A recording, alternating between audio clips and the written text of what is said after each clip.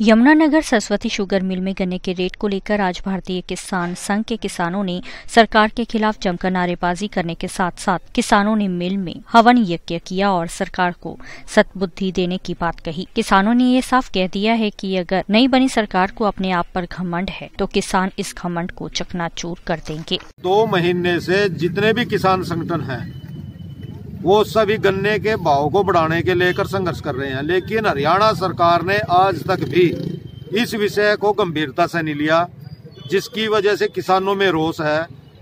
हमें आज निर्णय लिया था कि जित चौदह के चौदह शुगर मिलों पे दो घंटे का सांकेतिक धरना देंगे और सदबुद्धि यज्ञ करेंगे। इसी विषय को लेकर आज हम यमुनानगर में इकट्ठे हुए और जो भी संगठन चाहे, भारतीय किसान संघ है चाहे भारतीय किसान यूनियन है, इसको देखते हुए ये आंदोलन आगे और बढ़ेगा। ये आंदोलन आगे और बढ़ेगा और अगर ये आंदोलन उग्र भी होता है तो इसकी जिम्मेवारी सरकार की होगी, क्योंकि सरकार इस विषय को लेकर गंभीर नहीं है और किसानों के साथ नाइंसाफी कर रही है, क्योंकि किसान की लागत बहुत बढ़ चुकी है गन्ने पे। सरकार को चाहिए कि गन्ने की लागत को देखते हुए किसानों का रेट बढ़ाया जाए। तो पूरे प्रदेश में आंदोलन तेज होगा और जहाँ भी सीएम जाएगा, हम उसको काला झंडा दिखाने का काम करेंगे। और आने वाला इस दल के लिए बड़ा ही दुखदायी होगा, क्योंकि जो लोग सत्ता में बैठे, मज़े ले रहे तो ये ढूंढते रह जाएँगे। आज तक हरियाणा का इतिहास है, जिन्होंने भी किसानों के साथ पंगा लिया है, वो सत्ता से दूर रहे और आज तक मारे मारे फिर रहे।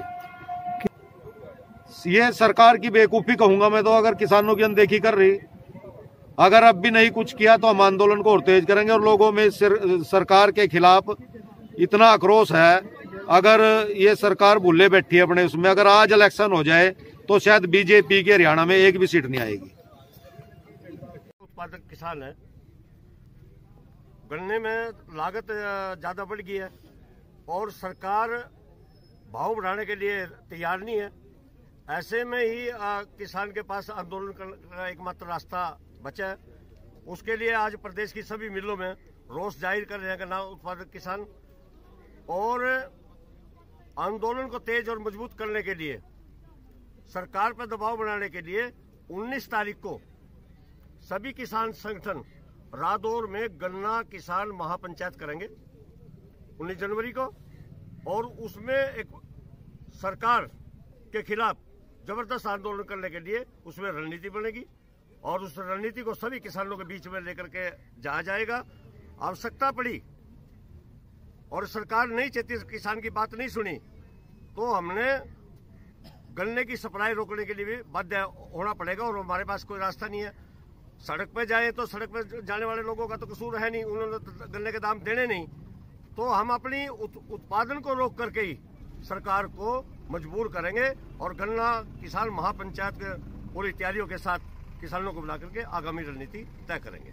कि सरकार किसानों के प्रति संजीदा नहीं है, अभी ताजी ताजी सरकार बनी है घमंड उसको, और किसान के मुद्दे के ऊपर कोई भी पार्टी राजनीति करती है किसान के मुद्दे पर राजनीति नहीं होनी चाहिए। किसान का जो लागत है उसके हिसाब से किसानों के साथ बैठ करके माननीय मुख्यमंत्री जी ने किसानों का समाधान करें ताकि किसान भी शांत रहे शांति प्रिय माहौल रहे कोई माहौल ना बिगड़े। किसानों की एकता को लेकर कहीं हाँ, किसान को गन्ने का भाव चाहिए क्योंकि उसकी लागत बढ़ गई है।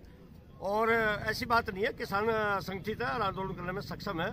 और सरकार की भूल अगर ऐसी इस तरह की सोच है तो।